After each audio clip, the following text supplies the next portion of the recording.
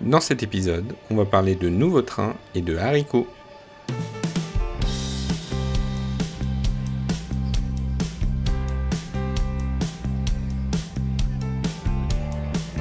Le lundi 13 novembre 2023, aux alentours de 11h, une foule d'officiels, de curieux et de curieuses était présente en gare de Haussmann-Saint-Lazare pour assister à l'inauguration des RER NG.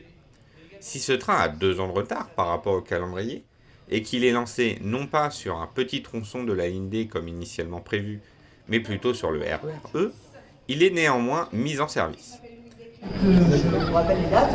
2026, fin du déploiement sur le RER E et 2028, fin du déploiement sur le RER D et commencement du déploiement sur le RER D 2024. Donc euh, voilà, on attend vraiment ces matériels.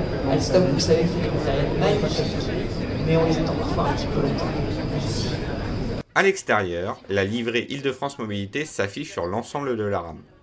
L'avant du train a une face assez caractéristique, ce qui a donné des idées de représenter le train comme une espèce de visage.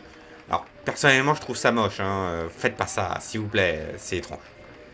À l'intérieur, on retrouve les sièges colorés semblables aux franciliens. Ils sont néanmoins plus larges et moins arrondis, ce qui est agréable, puisque cela donne un sentiment d'espace.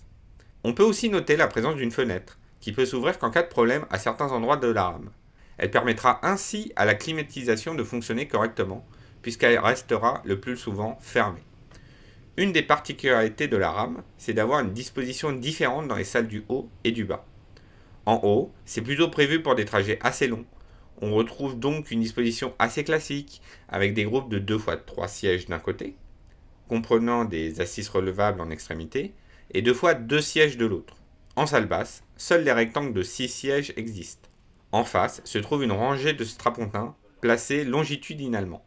Cette salle est prévue pour les trajets un peu plus courts, offrant alors un peu plus de place debout. Ce train étant un train BOA, il est possible de circuler de caisse en caisse, voire même de rejoindre les voitures d'extrémité, qui sont uniquement à un seul niveau.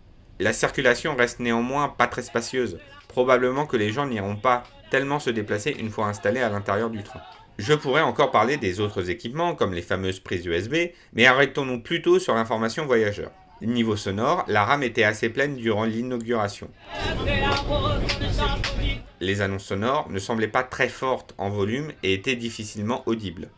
Néanmoins, une petite touche japonaise est à noter, puisqu'un petit jingle musical est présent à l'annonce des gares, et chaque gare a sa propre mélodie.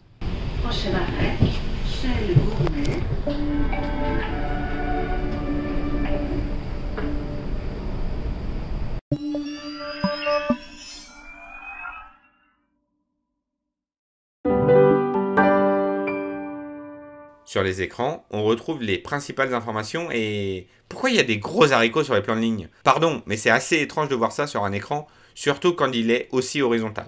Bref, les prochaines gares desservies seront affichées tout comme le nom de la mission ou encore les lignes en correspondance. Cependant, pour le moment, je n'ai vu aucun horaire de train en correspondance affiché. Et voilà pour ce petit tour du premier voyage du RER NG. Si vous avez des questions ou que vous voulez que j'approfondisse certains points, n'hésitez pas à le dire en commentaire.